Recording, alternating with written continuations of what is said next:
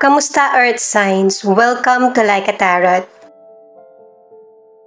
Gamit ang tasa reading at saka mystical cards, alamin natin kung ano ang situation mo.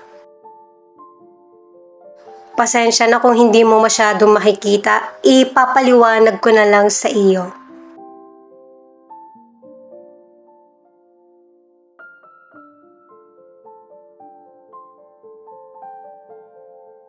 Interesting yung nasa tasa mo. Matatapos na kung ano man yung kahilingan mo kay God. Ayan o, meron ka pang hawak. Meron ng solution sa problems mo. Ito naman ay warning na huwag kang makipag-engage sa person or sa situation na magpapababa lang ng energy mo. Ang iba naman, yung nangyari sa past, yun yung nagpapagulo sa isip mo, kaya kailangan itigil mo na ito. Tingnan mo, nakaharang talaga siya. Meron na kasing new chapter at saka positive energy na dapat mo nang simulan. Nakita nyo naman yung daan lumihis, di ba? At gumawa ng paraan ang universe na para makamit mo yung tagumpay. May mga shortcuts, ba? At yung tatahakin mo na bagong landas, ito yung magbibigay sa'yo ng um, financial abundance. At saka dito sa tasa, merong letter S na connected sa iyo or isa sa letra ng pangalan ng person na connected sa iyo. Kumukurba din siya ng number 5 na kailangan mo talagang tanggapin yung changes na mangyayari sa buhay mo. Kailangan mo pa rin mag-focus at saka mag-isip ng tama kahit na merong ups and downs ang buhay mo. Yung tingin mong imposible ay posible pa rin kumbaga patuloy na makakasurvive. May mga blessings, happiness at good news na darating. Sa ngayon, hindi pa to obvious sa iyo. Mangyayari soon. Itong number 3, um, pinapahiwatig sa iyo na kung ano man yung mga issues kailangan mong resolbahan, makipag-communicate ng open at saka maging honest. Para naman sa negosyo, may mga taong kakilala ka na magbibigay sa iyo ng advice. Magiging happy at saka kontento ka sa mangyayari sa buhay mo. Mas lalong mapapabuti yung buhay mo at saka mas lalong mong mapapaunlad ang negosyo. At saka huwag kang matakot sa challenges. Harapin mo ito. May magandang meaning. Itong mystical card naman ang alamin natin. Tatlo ang kailangan natin na cards.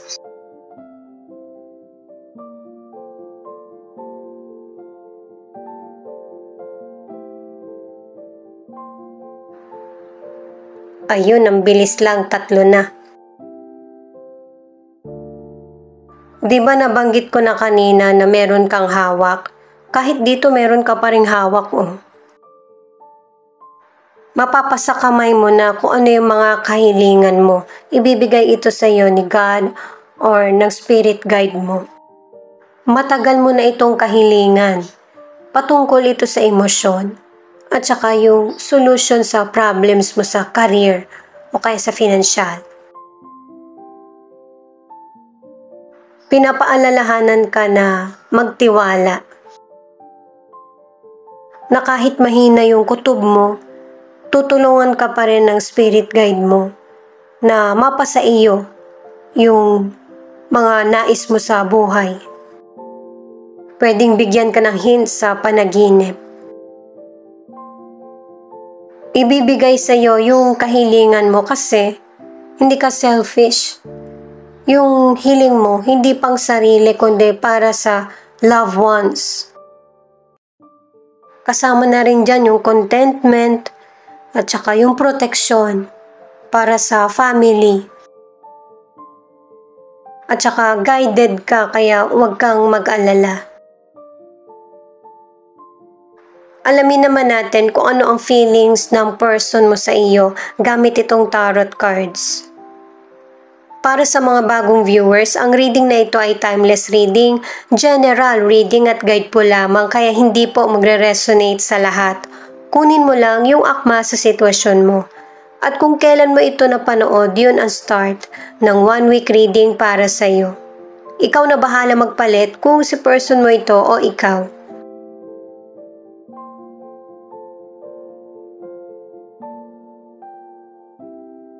Six of Wands, Two of Cups, at Five of Wands in reverse. Very positive itong tatlong cards na ito. Unahin muna natin yung career. Sa career or negosyo, merong success, blessings, at saka achievement. Kasi merong teamwork sa career na ginagalawan mo. At saka kung naghahanap ka man ng trabaho, itong tatlong cards na ito ang nagsasabi na mahanap mo ito. Yung kakompetensya, nasa mundo na natin yan. Ang kailangan mo na lang gawin ay hasain yung kaalaman mo at saka talent. Yun kasi yung panlaban mo. At saka wag din magbigay ng komento sa mga sitwasyon na hindi ka sigurado or hindi ka kasali. Lalo na't ang ilan sa inyo, maganda yung image mo. May potential ka na ma-promote or mag-increase yung kita mo. Ang ilang single, yung makakarelasyon mo, malapit lang sa'yo, pwedeng katrabaho mo, schoolmate mo, or um, kalugar. At base sa cards, itong person na ito ipapakilala sa iyo. Nasa maliit na um, lugar na lang kayo pero hindi kayo yung uh, close or nagkakausap nagkakasabay or nakikita mo siya pero wala kayong koneksyon. Ang ilan sa inyo sa relationship, busy kayo ng person mo na couple Maybe active kayo sa lugar nyo, meron kayong katungkulan. Meron ding reward na matatanggap ang isa sa inyo ng person mo. Pwedeng sa career o kaya sa lugar nyo. Yung pagiging active nyo ng person mo sa relasyon o kaya sa community, yan yung mas lalong nagpapalapit sa inyong dalawa. Mas lalong nagiging committed ang relasyon at saka meron ding balanse. At saka yung relasyon nyo ay magtatagal, magiging successful at happy. Kahit na magkaroon man kayo ng tampuhan ng person mo, matatapos na ito. Or mareresolbahan anuman yung kaguluhan sa relasyon. Magbe-benefit yung relationship nyo. May magandang resulta. Queen of Wands, Ten of Cups, at Page of Cups in reverse. Ang ilan sa inyo sa financial, gusto mong palawakin yung negosyo mo. Pero habang ginagawa mo ito na uh, mapadagdag, mapaunlad yung negosyo mo, unti-unti yung resulta. Kaya uh, maging pasensyoso, huwag mawala ng pag-asa. Kasi yung positive result ay darating. Lalo na't capable ka, energetic, at saka cheerful sa mga nakakausap mo sa career man or negosyo. Kaya positive din yung dumarating sa iyo. At saka kahit na ang ilan sa inyo blessed na sa financial, hindi ito yung concern mo. Mas binibigyan mo ng attention or prioridad yung family or relasyon. At saka nga pala kung gusto mong palawakin yung negosyo mo, unti-unti. Tignan mo muna yung resulta para makaiwas ka sa um, sobrang paggastos. Kailangan kasi mas marami yung naitatabi mo kesa sa ginagastos mo. Para sa ilang single, meron kang potential person na nakilala, kaya lang hindi niya natumbasan yung pagpapahalaga na naipakita mo. Kaya sa ngayon, gusto mo munang bigyan ng importansya ang sarili at ang mga magulang, yung family mo. Ang ilan naman na nasa relationship, pwedeng uh, magulang mo ito or kaibigan na nagpapayo sa iyo para yung relasyon niyo ng person mo ay magtagal. At saka ang ilan na nasa relationship naka tatlong cards ka na na ikaw at ang person mo pareho kayo ng goal sa buhay.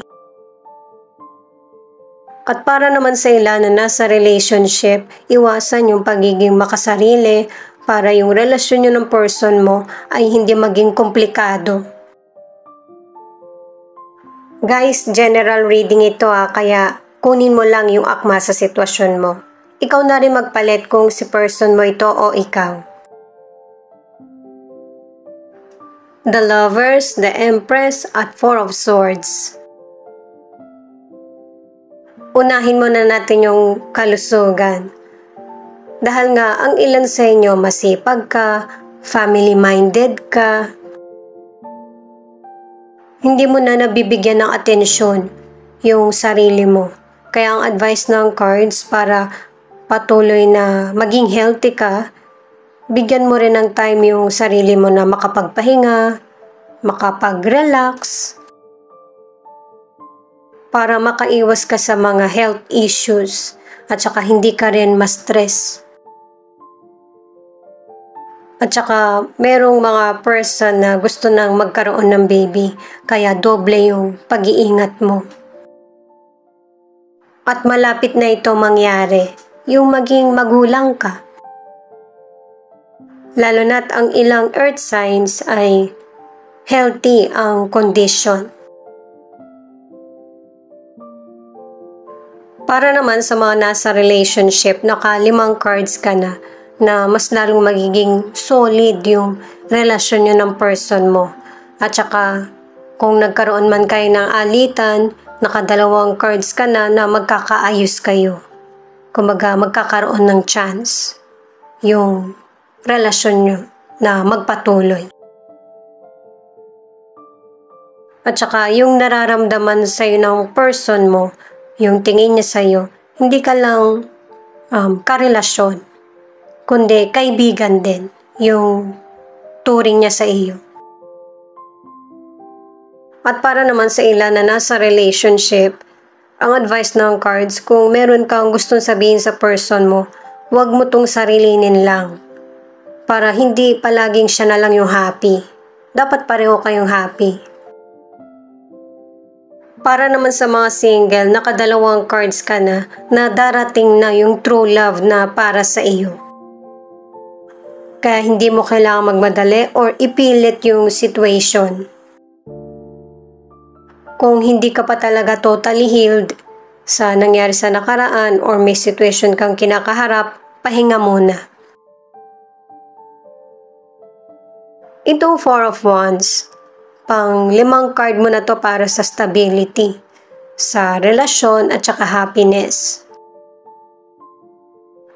May mga celebration, abundance, prosperity na makakamit mo sa karir man ito or negosyo.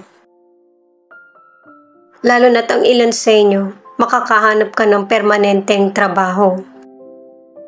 Ang ilan makakapagtrabaho sa ibang bansa, ang iba naman um, experience muna sa bansa natin bago pumunta sa ibang lugar or ibang bansa. At saka base sa card na ito, meron din mga person na magbabakasyon.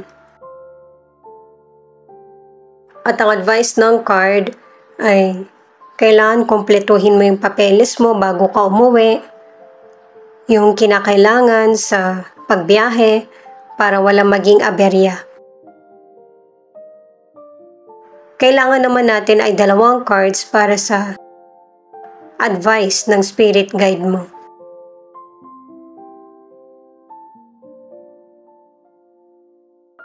Nakadalawang cards ka na para sa focus at limang cards para sa blessings. Na ito dapat ang dapat mong i-focus para ma-achieve mo yung mga goals mo at saka wag din makalimot sa mga taong nakatulong sa iyo or sumusuporta. Hindi lang naman yung ibig sabihin nun pagtanaw ng utang na loob. Kasi itong second card mo, pinapaliwanag na um, wala naman tayong pag-aari dito sa mundo. Itira mo sa sarili mo yung kailangan mo. At magbahagi din ng kabutihan, blessings sa kapwa. Lalo na't nakatatlong cards ka na para sa sharing ng blessings. Importante dito yung hindi ka nakakalimot sa mga magandang nangyayari sa buhay mo. Siya nga pala thank you sa mga nag-like, share, comment, and subscribe. Ingat po kayo palagi saan man kayo naroon. Posibleng hanggang dito sa charms makaresonate ka or hanggang sa mga tarot cards lang. Ikaw na lang bahalang tumukoy. Ito naman yung ilan sa 12 zodiac sign na nangunguna sa reading na ito.